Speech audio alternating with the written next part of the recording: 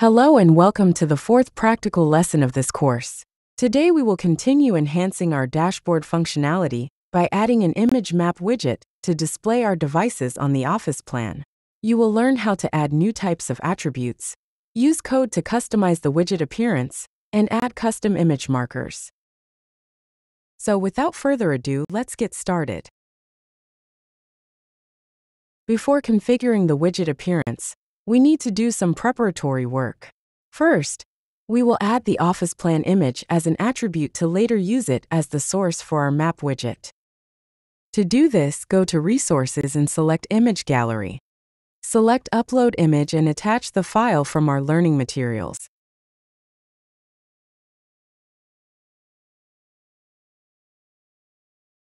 After this step, select the Embed Image icon and copy the unique link that directly references your uploaded image.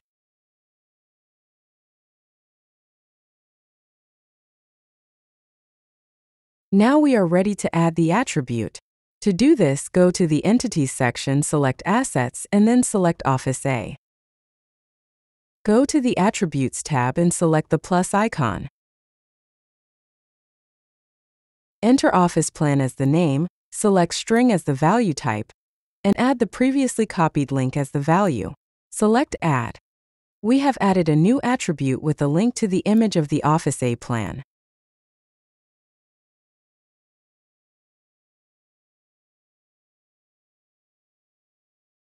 To visualize our devices on the Office plan, you need to specify their location coordinates as attributes.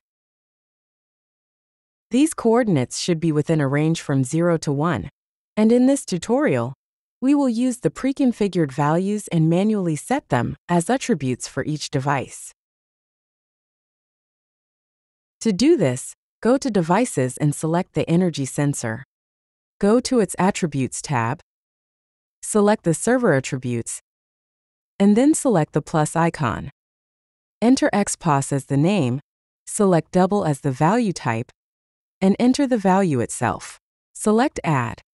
Then, select the plus icon once again, and add the YPOS attribute with the corresponding double value.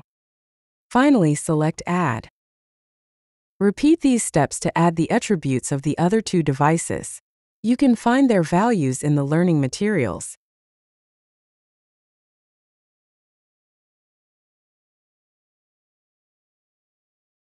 Now that we've completed the preparatory steps, it's time to add the image map widget itself. To do this, go back to our dashboard, enter its edit mode, and then select Add Widget. Select the Maps Widgets bundle and then the Image Map widget. Now we need to add an alias to extract the data about our devices. For this, in the Entity Alias field, select the Office Sensors alias. Then add XPOS, YPOS, and type as the data keys. Let's now set the previously uploaded Office Plan image as the widget background. To do this, navigate to the Appearance tab and scroll to the Map Provider Settings section. Specify selected Office as the image URL source entity alias, then specify the office plan as the image URL source entity attribute. By using these settings, the widget will automatically show each customer's office plan image from the linked office plan attribute. Finally, select Add and resize the widget to your liking. Now, three markers represent our devices, with their labels showing the model names.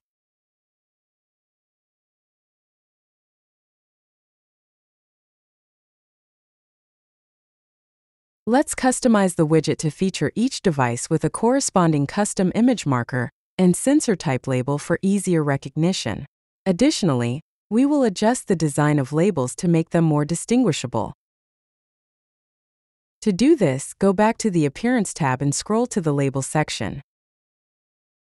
Here we will change its title to feature the label of our devices, as well as modify its layout and design. The corresponding code is in the learning materials. Now let's configure custom image markers. To do this, go to the Image Marker section and remove the default image markers. Then, paste the function from the learning materials in the corresponding field.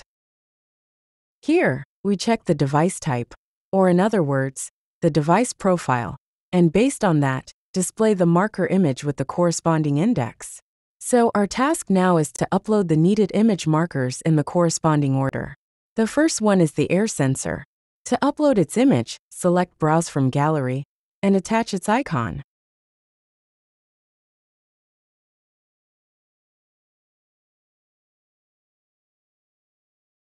Now, if the device type is an air sensor, the widget will display the marker we've just added.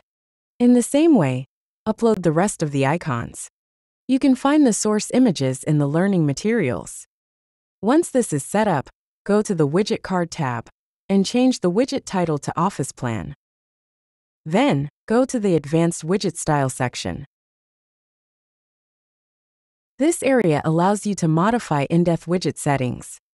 In the Widget CSS section, input the code from the Learning Materials to make the label background opaque. Finally, apply your changes. As you can see our markers have been updated, as well as the label's content and design.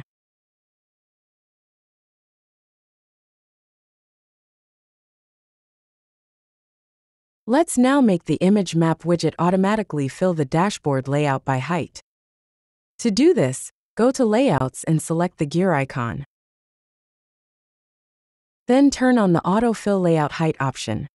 Finally, apply your settings and save the dashboard. As you can see, the image map widget has filled the entire height of the dashboard. In the next lesson, we will explore actions and configure separate states to display each device's telemetry data. But for now, thanks for watching, and see you in the next video.